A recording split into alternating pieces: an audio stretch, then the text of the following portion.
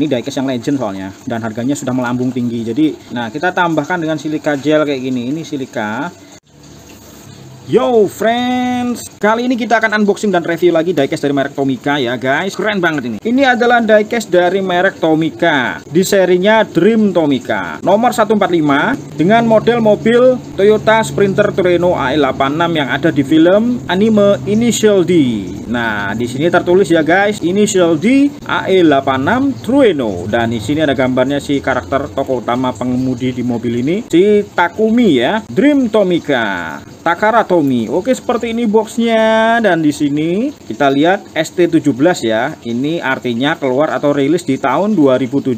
Keren banget ya, diecast Toyota i86 yang ada di film Initial D. Ini juga sudah ada lisensi resmi dari Kodansha. Ini adalah produser dari film Initial D itu sendiri ya. Jadi bagi kalian generasi tahun 90-an yang pernah nonton animenya di salah satu stasiun televisi di Indonesia pada setengah tujuh pagi, wah kalian pasti harus jangan ngelewatin diecast ini guys. Karena apa? Ini diecast yang sangat keren dan bisa mengingatkan kalian pada masa kecil kalian di tahun 90-an ya. Alright, gokil banget guys. Di boxnya sendiri nggak nyebutin skala ya, tapi langsung saja kita unboxing dan kita buka seperti apa diecast-nya, apakah bagus, apakah kita dapat yang ini ya, defect atau mungkin ya sudah karena sudah lama di dalam box ya.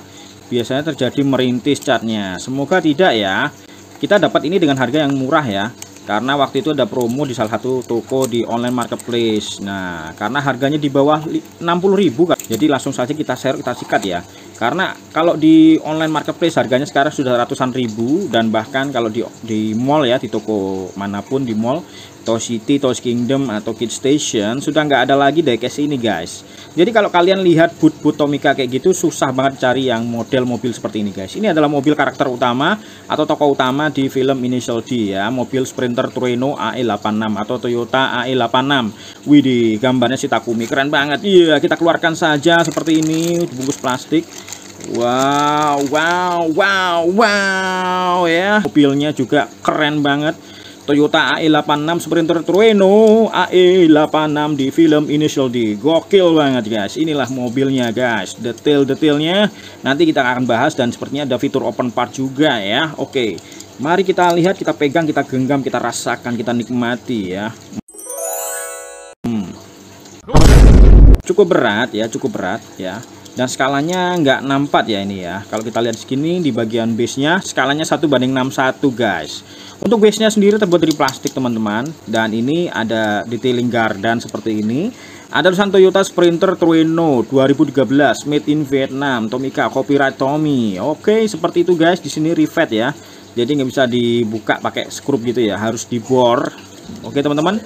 Untuk bannya plastik teman-teman. Dan seperti ini bannya nggak standar ya keren ya. Bannya bukan ban standar yang Tomica yang biasanya kayak kaleng gitu ya tapi ini bannya sudah ada model velg velgnya gitu ya untuk model plastik ini. Meskipun plastik ya tapi oke okay ya dan sudah ada ini ya fitur uh, suspensi ya atau mantul-mantulnya ya keren banget cuy.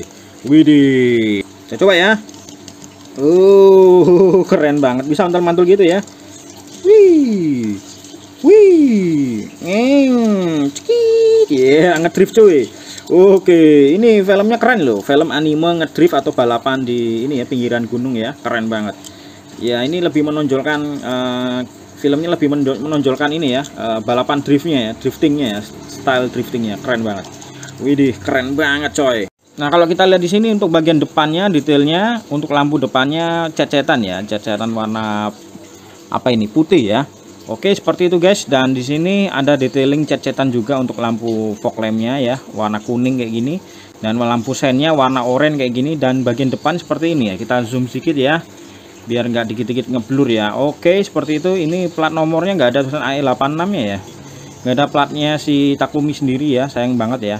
Dan detailingnya seperti ini cukup oke. Lampu pop upnya juga oke ya di detail. Jadi dia nggak ada fitur ini ya eh, bukaan sendiri. Kalau di premium kayaknya ada. Gue lupa ya. Nah ini untuk bagian kap depan seperti ini hitam dan catnya kayaknya sih agak sedikit um, merintis ya. Bisa kelihatan teman-teman ya karena sudah terlalu lama di dalam box. Jadi kelemahan utama dari diecast Tomica ini adalah cepat merintis catnya. Jadi kita harus rawat dengan apa? Betul kita harus rawat dengan menyimpannya pakai silika ya yang biasanya itu pengawet gitu ya untuk menghindari kelembapan. Karena catnya itu gampang banget kena lembab dikit merintis ya. Sementara Indonesia iklimnya iklim tropis ya. Nah ini kayak gini nih catnya ya, merintis ya. Waduh sayang banget. Dan di sini ada tulisannya ini ya mobilnya ya keren banget nih. Ini si garasinya si ini ya si apa Takumi ya keren ya. Mobilnya khas banget ada tulisan Jepang seperti ini keren.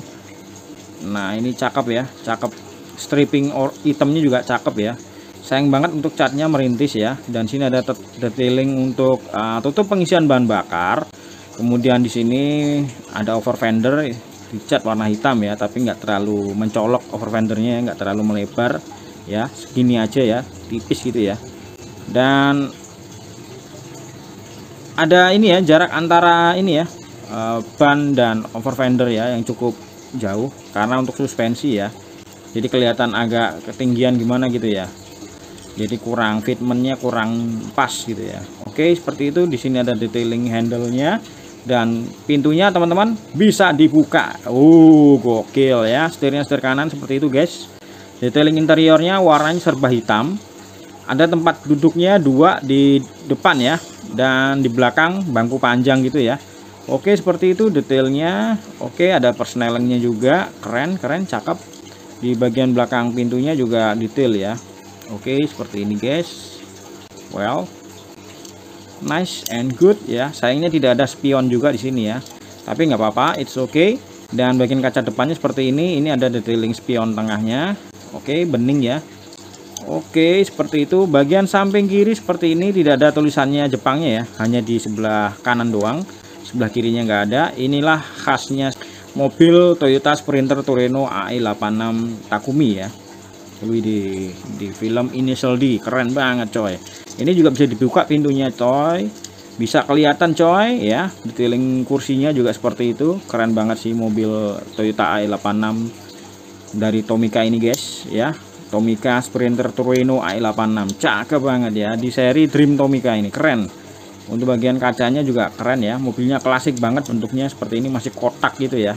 It's okay tapi well sangat klasik. Di bagian belakang sudah ada detailing lampu belakang ya. Seperti ini warna merah dan platnya kosongan doang warna putih gitu. Untuk bagian knalpotnya sini ya cuman tenggelam ya. Tenggelam dan menyatu dengan bagian base atau sasisnya. Oke seperti itu bagian belakangnya coy. Alright untuk bagian atasnya seperti ini catnya juga sudah mulai agak-agak merintis ya di sini ya Oke, ya seperti itu kejadiannya ya kalau kita terlalu lama masukkan diecast ke dalam box ya. Dan ya yang kejadian seperti itu. Ya kalau merek yang Mattel ya biasanya dia catnya lebih tebel ya karena untuk menghindari merintis ya. Tapi jadinya malah jelek ya kayak cat ketumpuk kayak ini gimana gitu ya.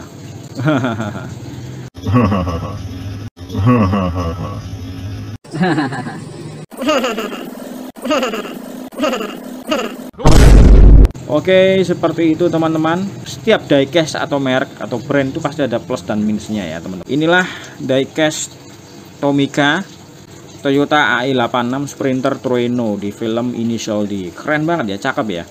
Dan ini bisa kalian koleksi teman-teman selama masih ada di online marketplace. Karena sekarang sudah mulai susah dicari ya teman-teman ya diecast seperti ini. Dan keluarnya aja tahun 2017 ini sudah tahun 2023 ya semoga masih ada meskipun harganya goreng dikit-dikit ya. Sekarang harganya sudah 150 ribuan.